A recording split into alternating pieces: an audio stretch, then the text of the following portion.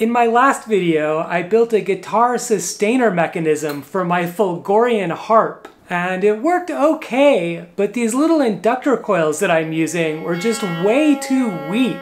So today I want to explore the physics of how these things actually work so that I can understand how I would go about either making or finding better ones. And if you recall, my setup consisted of a metal guitar string and two coils an input coil and an output coil, and I want to start today by analyzing the input coil, which is basically just a guitar pickup. So there's my guitar string, and the inductor coil consists of a bobbin with wire wrapped around it. In fact, there are N turns of wire. And there's also a permanent magnet either in or kind of around the bobbin, and that magnet actually magnetizes the metal guitar string and M is the strength of the string considered as a magnet. And it's not really important that the permanent magnet is in the bobbin, although that is a convenient place for it. It's only important that the string is magnetized. And when the string vibrates, this whole thing reduces to this demo you might have seen, where moving a magnet in the vicinity of a coil of wires creates a voltage between the two ends of that wire. Except that here, this string is the magnet, and here's the voltage. And when I say that I want a stronger coil,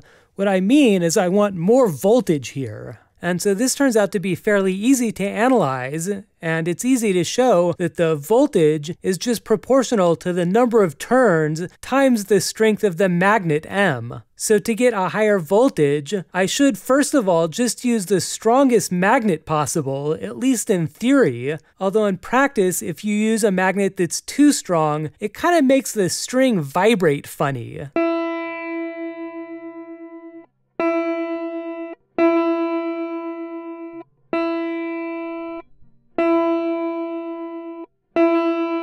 So I guess you should just use the strongest magnet that doesn't make that happen.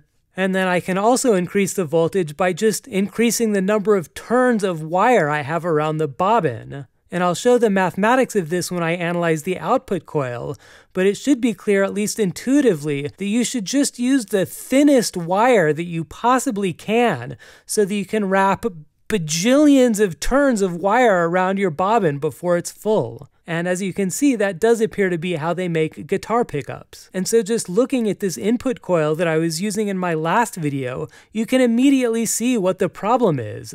There just aren't that many turns of wire. They could have easily just kept going and filled up all this extra empty space with wire. And I think the magnet could be stronger. And so just for the sake of comparison, here's the input coil from my last video plotted in green against just a normal guitar pickup plotted in blue.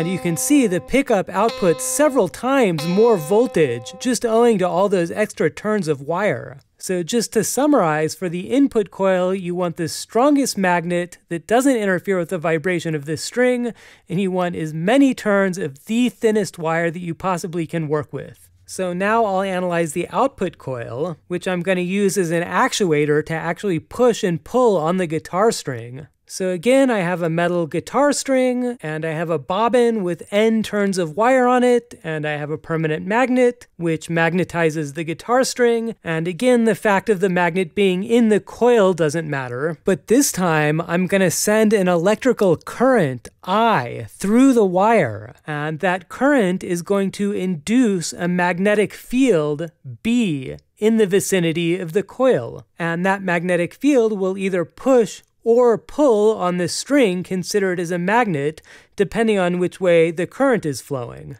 But anyway, it's ultimately this magnetic field B that makes the string vibrate. So when I say I want a stronger coil, in this case, what I mean is that I want a stronger magnetic field. And the first question I have is that if I just have a given bobbin, like say I just have a guitar pickup with the wire removed, what diameter wire should I use to fill it back up with? And should I fill it all the way or should I only fill it part way? And to start with, it's fairly easy to derive that the magnetic field strength is going to be proportional to the number of turns and to the amount of current. And by Ohm's law, the current is proportional to 1 over the resistance in the wire. And when I talk about the resistance, what I mean is that I want to uncoil the wire from the bobbin and stretch it out straight. Then it has some length L and a diameter D, and its resistance is proportional to the length if you halve a longer wire, it'll have more resistance, and it's proportional to 1 over the diameter squared, and that's because it has to do with the cross-sectional area of the wire. If you double the area, then you have the resistance. But note also that the length of the wire is also proportional to the number of turns, because if you wrap the wire one more time around the bobbin, that's going to take so much more length of wire to do that. And so now we've come full circle back to N, but what is N? How many turns of wire are there going to be on the bobbin? And to analyze that, I want to take a cross section sort of out of the side of the bobbin, like this. And in two dimensions, that might look something like this, where each orange circle represents one turn of wire as it punctures through the plane of my cross section. And of course, this wire still has diameter d, and if my goal is just to completely fill the bobbin with wire, whatever wire I have and however much wire it takes, then notice that if I use a wire that has half of the diameter, it's going to take four times as many turns of wire to fill the bobbin up. So the number of turns is proportional to 1 over d squared. Well, if the number of turns goes with 1 over d squared, then certainly the length of the wire also goes with 1 over d squared, which means that the resistance goes with 1 over d to the fourth, which means the current just goes with d to the fourth. And then up here, I already told you that the number of turns is 1 over d squared, and the current is d to the fourth, and so that simplifies to d squared. And so this is kind of the result that I was looking for, that the strength of the magnetic field is proportional to the diameter of the wire squared. And what this kind of says is that in order to get the strongest magnetic field or the strongest coil, is that I should just use the thickest wire that I possibly can. In fact, I might as well just use one chunk of this huge diameter wire that completely fills up the bobbin in only one turn. And that's a little bit counterintuitive because now I only have one turn of wire, which I guess is hurting me in some sense. But on the other hand, this chunky piece of wire has almost no resistance, which means that a huge amount of current is going to flow through it. More than enough to offset the fact that there's only one turn. And while it's true that in theory this will give you the strongest magnetic field, in practice you're not going to be able to build circuitry to drive an infinite amount of current through a zero resistance wire, and it would be overkill anyway.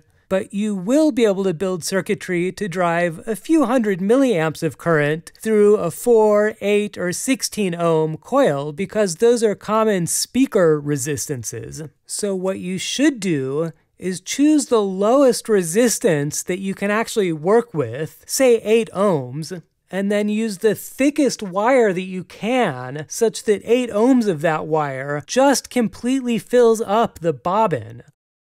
So the preceding analysis kind of assumes that you already have a bobbin and you just want to fill it up with wire. But what if you don't have a bobbin and you just want to know what size bobbin should you use in the first place? Is it better to make the coil big or small? Well, suppose that you have some bobbin and it's filled exactly with 8 ohms of wire. What's going to happen if I use a bigger bobbin but also fill it up with 8 ohms of wire? Well, you can see just by looking at this equation over here that clearly you're going to need wire that has a little bit bigger diameter and a lot more length, which means that there are going to be more turns of wire. And I'll leave it to you to work it out in the comments if you're interested how much more length and diameter you're going to need as the cross-sectional area of the bobbin increases. But it might, for example, look something like this. And since the resistance is the same, the same amount of current is going to flow in both of these inductors, but the bigger one has more turns, which means that the magnetic field is going to be stronger. And of course, that's what I'm trying to accomplish. Of course, if your bobbin is too big, then your magnetic field is going to be spread out all over the place. So what you really want is a bobbin that is small enough that it concentrates the magnetic field in the area where you want it, and then as big as possible within that constraint so that you can maximize the number of turns of wire that you have on it. And again, just looking at this output coil that I used in my last video, you can see what the problem is. Mainly just that it's a teeny tiny coil. This is a 16 ohm coil, and maybe an 8 ohm coil would have been better, but 16 ohms is fine. But it would have been better had they used larger diameter wire, which would have necessitated more turns to get all the way up to 16 ohms, and that would have resulted in that stronger magnetic field that I'm after. And so just to recap, here's what you want to do for the output coil. You want to select a coil of the lowest resistance that you're able to work with practically, maybe 4, 8, or 16 ohms. And you also want to select the largest bobbin that is at least small enough to kind of concentrate the magnetic field in the area where you want it. And then you want to find a wire diameter so that a length of the wire with the desired resistance also just completely fills up the bobbin. And then again, you are going to want the strongest magnet that you can get in there that doesn't interfere with the vibration of the string. Yeah, so that's it. Those are the principles that you need to know in order to make the strongest possible inductor coils for your DIY guitar sustainer. And what I'd like to do in my next video is actually use these principles to make some better coils. And in particular, I'd like to try making a Sustainiac type device where I rewind the coils of a regular guitar pickup. And I want to see if I can use that to try to vibrate several strings on my Fulgorian harp all at once. But anyway, I think that's quite enough for today. So as usual, thank you so much for watching, and I'll see you next time. Bye!